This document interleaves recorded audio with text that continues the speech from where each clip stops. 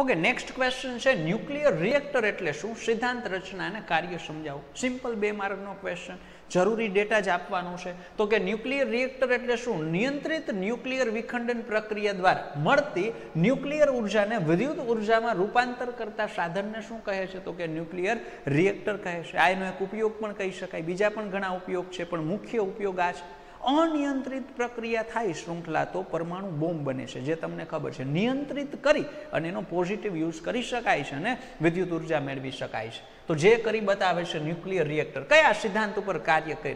નિયંત્રિત વિખંડન શૃંખલા પ્રક્રિયા ઉપર. એની રચના તમને ખબર જ છે કે ગર્ભભાગ છે, એની અંદર યુરેનિયમ હશે. એની અંદરથી જે ઊર્જા છૂટી પડશે એમાં અમુક ધીમા ન્યુટ્રોન છે, વિખંડન કરવા માટે વ્યવસ્થિત કાર્યશીલ કહી શકાય.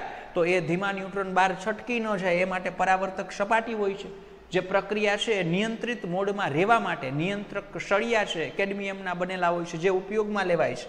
મોડરેટર તરીકે ભારે પાણી અથવા તો પાણી અથવા તો ગ્રેફાઇટ છે, ઉપયોગમાં લેવાય છે. જેથી કરીને તમે કન્સિડર કરી શકો કે જે ન્યુટ્રોન મળે છે, ત્યારે વધારે પડતા ગતિમાં હોય છે અને ધીમા કરી શકાય. બરાબર? પછી જે વરાળ મળે છે, એના દ્વારા ટર્બાઇનને ફેરવવામાં આવે છે અને તમને વિદ્યુત ઊર્જા મળે છે. એ વરાળ પાછી ઠંડી પડી અને હતી ત્યાં આવી જાય છે પાણી સ્વરૂપે. તો આ જે કાર્ય પ્રણાલીના જે પોઈન્ટ છે, એ તમને વ્યવસ્થિત રીતે ટેક્સ્ટ બુકમાં આપેલા છે. તો જે એક બે પોઈન્ટ છે ત્યાંથી કન્સિડર કરવા. બાકી મેન મેન વસ્તુ મેં તમને કહી દીધેલી છે. તો આ જે છે એ કન્સિડર કરી શકાય ન્યુક્લિયર રિએક્ટર વિશેની સમજ બે માર્ક માટે.